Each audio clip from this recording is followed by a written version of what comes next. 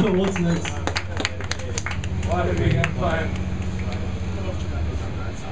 Next is uh, we got a Slipknot cover for you next. yeah. Really? I guess I gotta find out. Come on, he knows it. Oh yeah.